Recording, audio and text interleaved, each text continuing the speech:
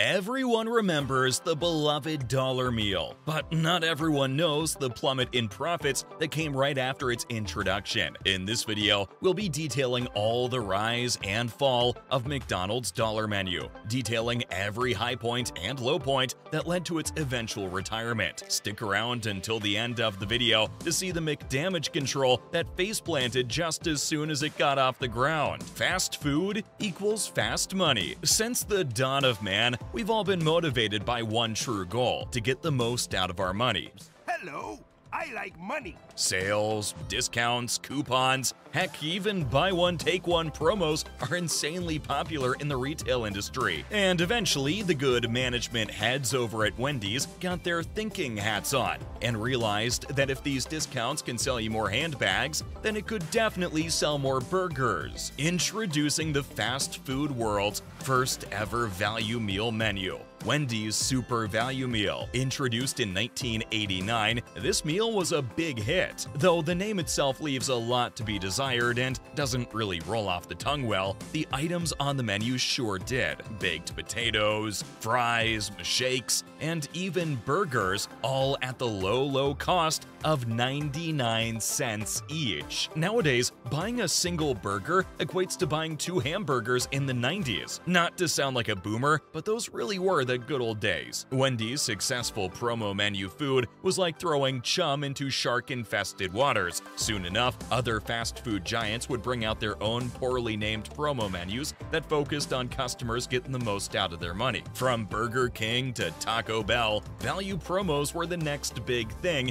in the fast food world. But none of these fast food chains could ever live up to the clown prince of cheeseburgers, McDonald's, McDominance. When it came to introducing value to the customers, McDonald's was the king. In fact, McDonald's was the first ever company to introduce set meals, which included the iconic burger, fries, and even a sugary shake to wash it all down. This full meal offering not only made McDonald's image as a family establishment fully realized, it also made McDonald's a whole lot more money. The idea of the value meal was simple get more customers to buy more of your product while sacrificing just a tiny portion of your profits. This meant that getting product out of the door was easier than ever, which is exactly what you want to be doing when you're dealing with perishables. No customer would want to get served burger patties that are over a week old, and this promo made sure that all of it was getting through the door as fresh as it came into the store. One of the more controversial value promos that McDonald's put out was the Supersize upgrade that was released in the 1990s. The Supersize upgrade promo offered customers the opportunity to stuff more calories into their body for an extremely low price,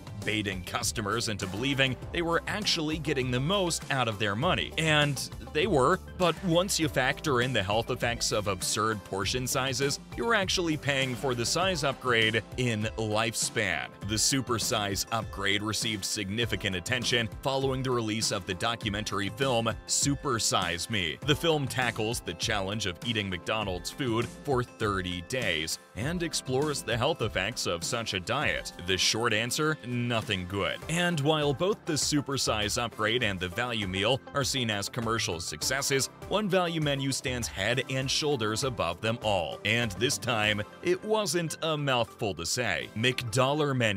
McDonald's was, and still is, one of the biggest names in the fast food value game, and when they saw what competitors like Wendy's, Burger King, and Taco Bell were doing, they knew they had to remind them of their place. Say my name. McDonald.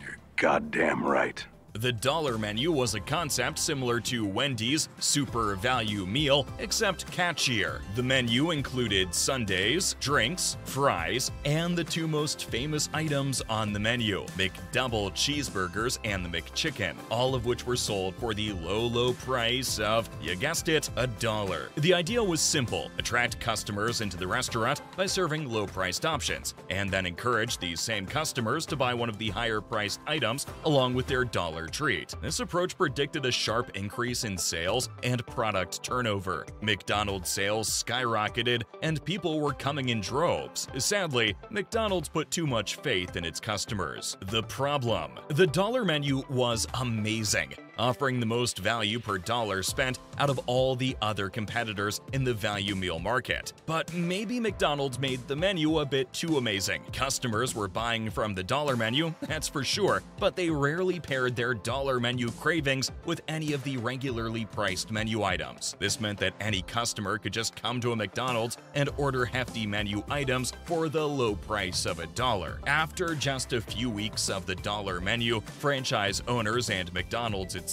began seeing the horrible cracks of their value meal. The dollar menu was supposed to operate at negative expense, treated more as a marketing technique meant to sell more Big Macs than an actual business move. At the time, it was estimated that each transaction that happened at McDonald's actually cost the branch 3 cents. Now, 3 cents may sound like chump change for a big company like McDonald's, but this small expense all adds up when you realize just how many people order from the dollar menu every day. Of course, McDonald's can take these small costs in stride. What's a thousand dollars to a multi-million dollar food mogul, right?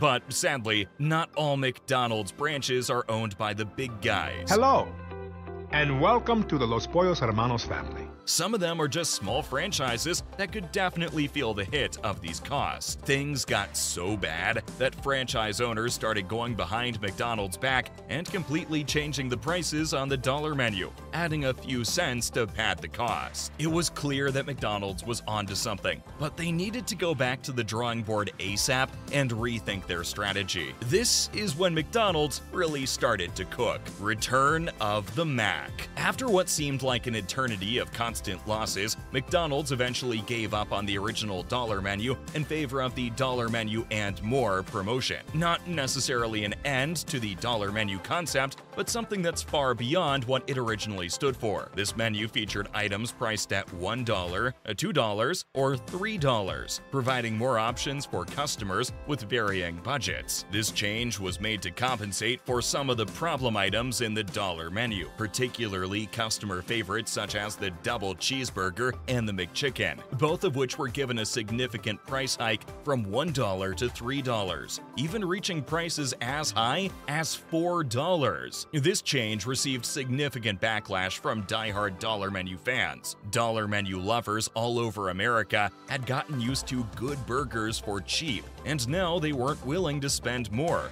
No, come back on $2! $2!